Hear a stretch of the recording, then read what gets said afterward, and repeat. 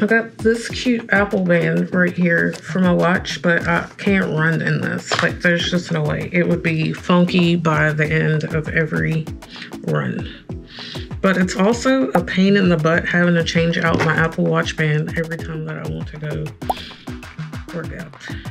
But, you know, first world problems. First world problems. Anyway. I've decided that I need to get out of the house, so I'm gonna go run. And hopefully this will clear my mind. And it's been so long since I've run outside, I didn't even know where my running glasses were. But I found them, so we're ready to go. And today, I'm wearing something a little bit different. I got this little Nathan thing, I don't know, in a random like Dick's Sporting Goods box a while ago, and it's kind of hot outside I usually run with my orange mug, but like I said, it's been a long time since I've run outside. So that thing is probably filthy and dirty and I need to wash it. So this is going to be the next best thing. Oh. And I'm wearing my Brooks for the first time in forever.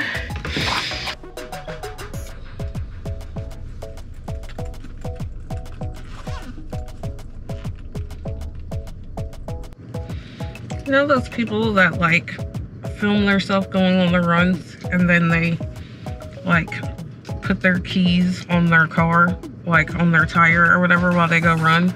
But they like openly film that they did that. That's absolutely ridiculous. I don't know why I just thought about that. But I don't do that for the record. I will carry around all my keys and everything, my wallet, everything.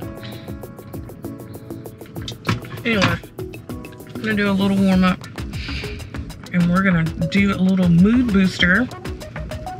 Oh, by the way, welcome to the video. I'm gonna go run and then we're gonna talk about some books. So yeah, run and then books that I read last month and we'll go about it that way. So welcome to the vlog. By the way, did I say, hi, my name is Angela. If you're new here, I lost 200 pounds, fell in love with running. Now I'm trying to live the healthiest life I possibly can while being a mom. And if you know, you know, I need to change that because, because life is just different. I am still trying to live the healthiest life I possibly can.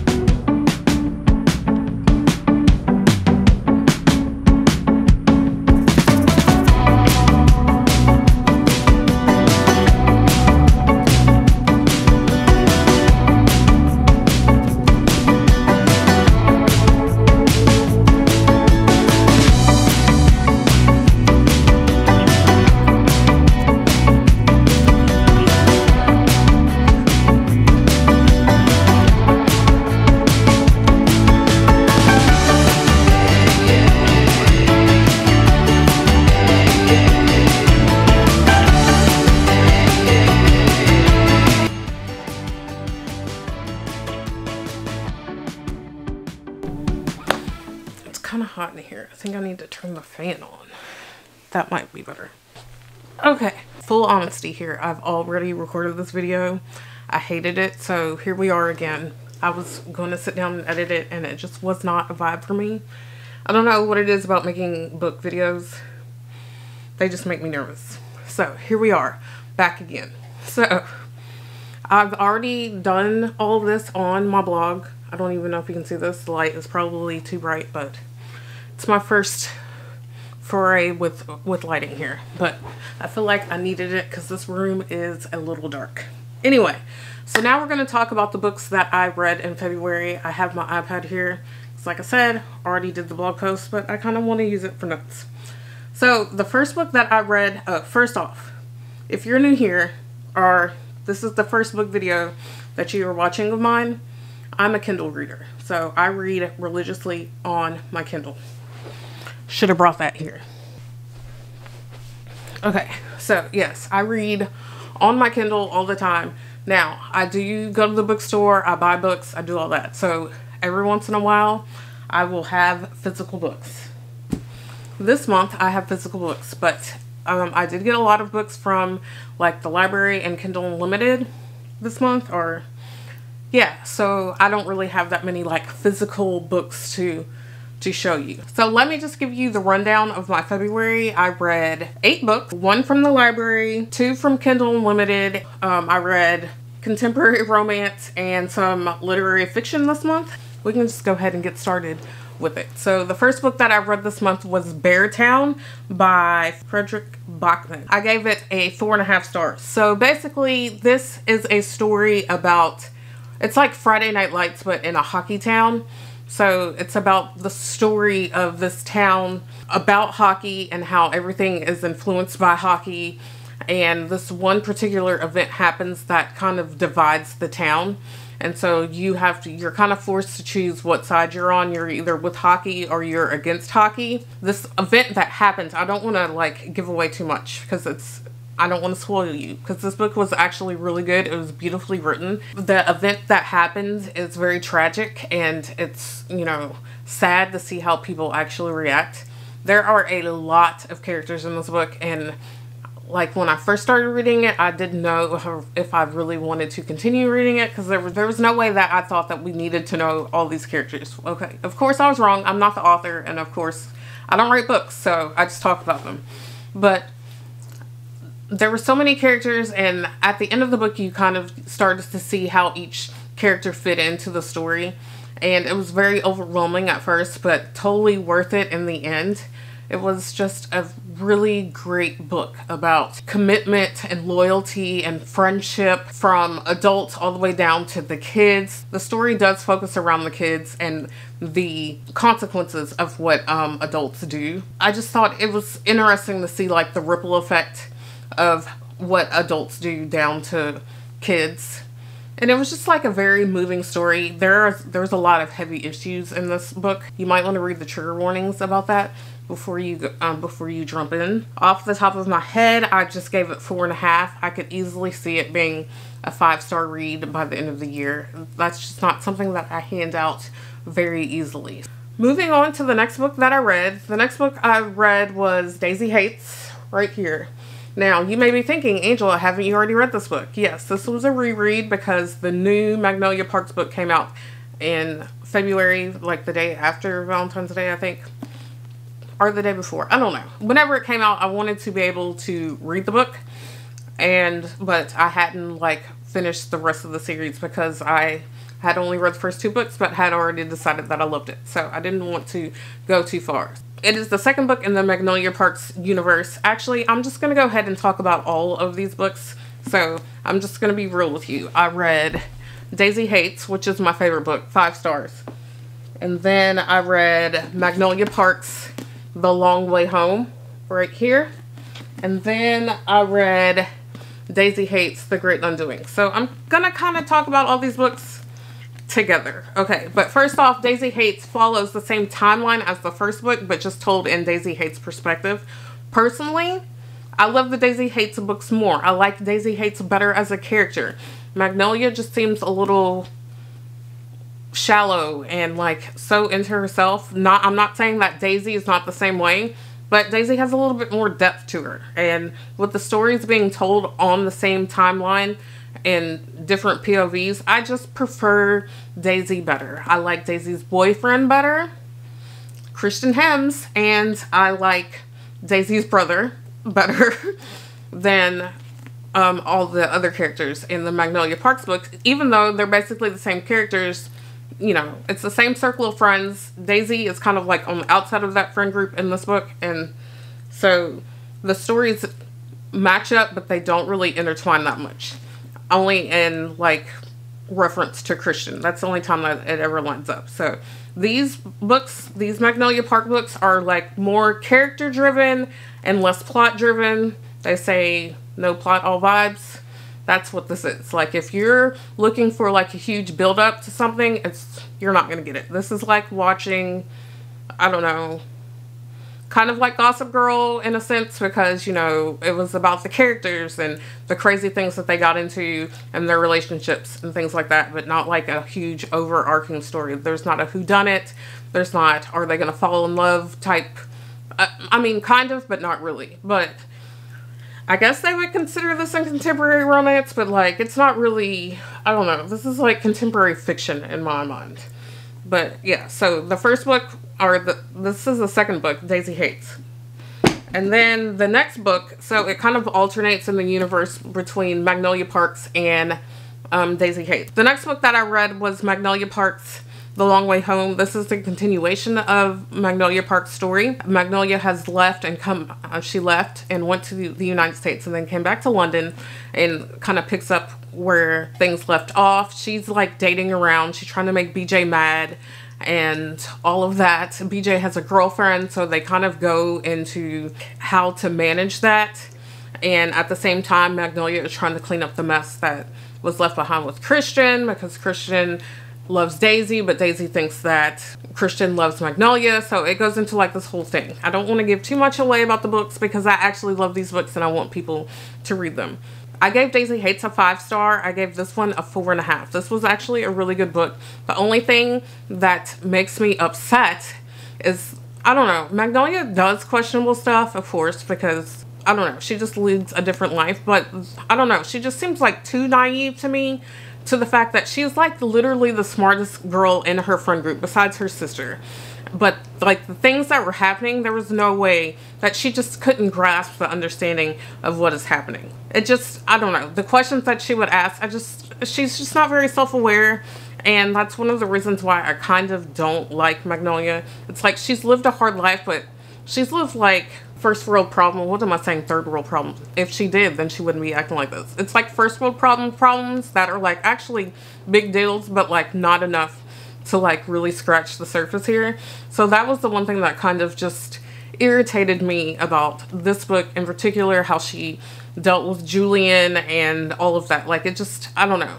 I know that she could not have been that naive. Four and a half right here though. This book was amazing. And then I moved on to the next book, which was Daisy Haites the Great Undoing, which is also in the same timeline here with the Long Way Home.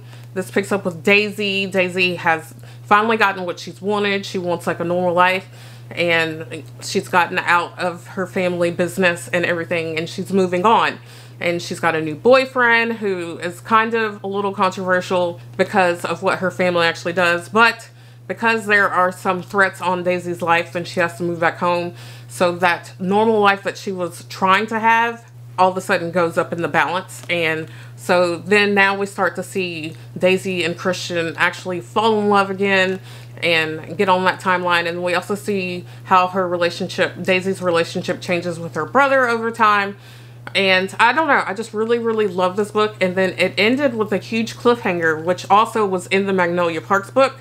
But like we got more of an explanation of why those things were happening and how it like affected everyone. And of course, I gave this book a five stars. And because of that reason, I was trying to jump into the new Magnolia Parks book. Let me get it. The new Magnolia Parks book. Magnolia Parks Into the Dark. And this sucker is thick. Let me tell you. It's like 720 pages. And I got about 275 pages into it and I had to stop because maybe I think that I was on a Magnolia Parks overload and I felt myself going into a slump. And this book is really heavy and there are major trigger warnings here. It was just a lot and I just, I felt myself slumping. So I had to put it down. I will pick it up again, but I had to put it down. So anyway, let's get back to the other books that I read. Back to the trusty iPad. I'm sorry, it just started raining outside and you may be able to hear it because I'm sitting next to a window. Before I went into like the the Magnolia Parks Haze, I did read some other books. I read The Long Game by Elena Armas. I got this off of Kindle Unlimited. My thing about Elena Armas, I typically do like her books. I like The American Roommate Experience and I like The Spanish Love Deception. Very cute, but man, The Long Game was a long haul for me to read. So this is like a contemporary romance and they are enemies to lovers type thing and it was just it was it took a lot to get into it. The they kept alluding to something that happened in her past that to me didn't really turn out to be that big of a deal for it to like have been like the conflict of the story for her. Um the way that they were alluding to it made me want to know more. And then the uh, male mc cameron like his story was interesting, but then like the reasons why he was doing the things that he was doing were it's kind I mean, understandable, but I don't know, it was just kind of weak. Like the conflict in the story wasn't a conflict in a romance novel will make or break the story. I will say that. Like, if it's not worth it, then that kind of does ruin the story. And I felt like here, it was a little bit not worth it. So I just gave this book like three stars. Like, you can take it or leave it. It's on Kindle Unlimited, so go ahead and read it because it's free. But I don't know. It's, it wasn't my favorite book, and I don't necessarily know if I would recommend it. I gave it like 2.75 stars, but I'm going to round it up to 3. I don't know. This just wasn't a book that was worth it for me. Um, then I moved on and I read Love Redesigned by Lauren Asher. And if you don't know, I actually love Lauren Asher books. I started reading them but like as a joke and when F1 was canceled last year, so I read the F1 like romance series and I don't know. I like her writing. I like the way that she develops her characters. I love how she has these series, so it's like not just one book, you know, it's like you kind of get invested and then you move along. So, um, the Love Redesigned is the first book in the Lakefront Billionaires. And this is about Julia and Dahlia, who are from Lake Wisteria. If you know anything about the Dreamland series, then you'll know about Lake Wisteria. So I like how like all of her series are kind of connected that way, but this is a totally different series than that one. Dahlia and Julian are like old childhood friends. They went off to college together and then they had the possibility of something happening, but then something happened that stopped them from getting together. And so now life has brought them, well, Julian lives in Lake Wisteria and Dahlia is like this fixer-upper type TV personality, but is forced to come home and her and her fiance decide to call it quits. She has to come home and she's trying to like heal and face all of her demons. And at the meantime, she's face to face with Julian. I don't know. I just really love how the characters were developed and how they kind of intertwined. I loved how this had like a whole family unit behind it because we had Dahlia's family and we had Julian's family who are really, really close anyway. And they just added a lot of comedic moments to it. Like, I like Lauren Asher books because they're serious, but then they're also fun at the same time. So, I just love reading her romance novels. Yes, they're a little bit spicy, but I don't know. Like, her characters are written so well that I, you know, that's just another thing that happened. Um, I do love Lauren Asher books. I gave this book four and a half stars. If you are into like romance books or whatever, I feel like that this is one that you need to read. How many books is that that I've talked about? One, two, three, four. Okay, so I read When in Rome by Sarah Adams. This was a cute book. So this is about Amelia Ray, who is like a pop star who needs to get away because she's about to go on tour. She's like tired, she's confused, she doesn't know really what she wants. And so she decides to go to Rome, Kentucky because she wanted to go to, or she has a connection to Italy, but she can't go because she's like, she doesn't have enough time. And her car breaks down in Noah's like front yard magically, and Noah is like the town stud. He is, this is grumpy sunshine. They challenge each other, force proximity, type of romance here. It's very simple. I read this book in like 24 hours. Um, it's just like, it's just your standard standard rom-com story that if, if you think about a romance book, then this is what you're to get. It was cute. Um, I don't really remember that much about the book. Like it didn't stay with me. And it's just like the basic rom-com book. Um, this was actually the first Sarah Adams book that I had written read, written, I haven't written this book. This is the first Sarah Adams book that I've read. And I know that she has like some stellar reviews from other people. It wasn't bad. It wasn't great. It was just like middle of the road. If you're if you're trying to get out of a slump or you just want to read something really quick, I feel like that this is a good book for you to read. Nothing life changing about it. And then the last book that I read after I gave up on Magnolia Parks, I got from the library was A Curse for True Love, which is the third book in the Once Upon a Time, Once Upon a Broken Heart series. I can talk, I promise. I'm just a little nervous. These videos make me nervous. I don't I've, I've talked about this before. I know I've talked about it on my blog.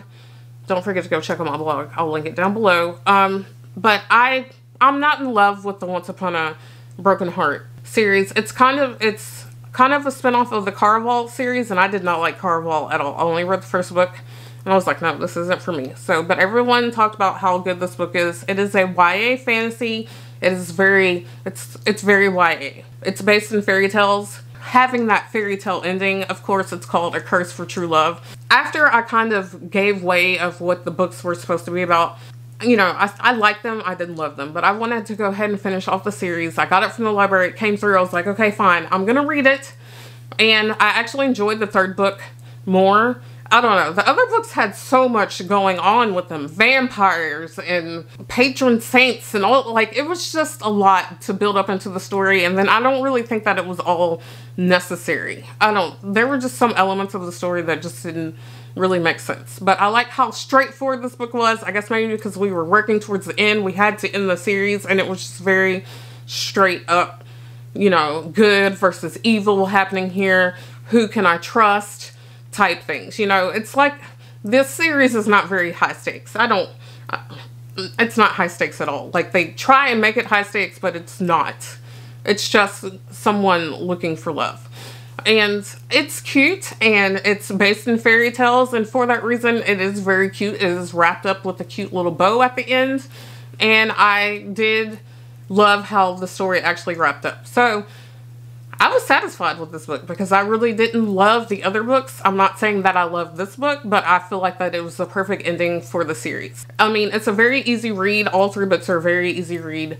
I, I feel like it's, it's a very like niche kind of book series that I guess I would recommend it to my goddaughter um, I gave it three stars. I think I gave it three stars. Three and a half stars. See, I gave it three and a half stars. So I really did enjoy the last book of the series. I had a very, very good reading month. Um, January was not strong for me. I felt like I was slumping. Um, December, I barely picked up a book. January, I was trying to get back into myself. And February was like actually the first time that I felt like myself again. I was running and um, F1 was coming back and I was just excited to read. My Goodreads goal for the year is to read 60.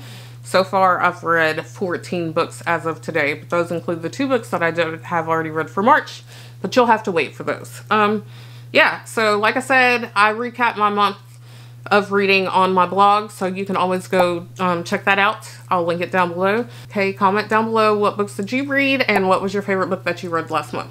So thanks for watching and I will see you in the next video.